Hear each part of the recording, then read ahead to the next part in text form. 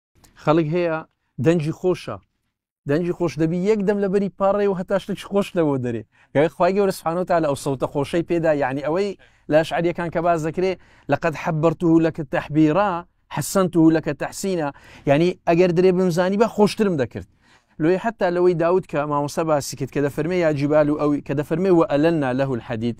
تەلینی حەدید لە بۆ داود دەرێ کاتێک کە دەسی لێدا دەبا زەبوری بە دەنگەکەی لەسەر خیندبایە ئەو جەنەرم دەبوو سنت ماشاءله بڵێ کاک دکتۆر کاک دکتۆر بابەتەکی گە- زۆر گرنگی وەرژان دەربارەی یانی ئیستیغلال کردنی دەنگی خۆش بۆ قورئان خوێندن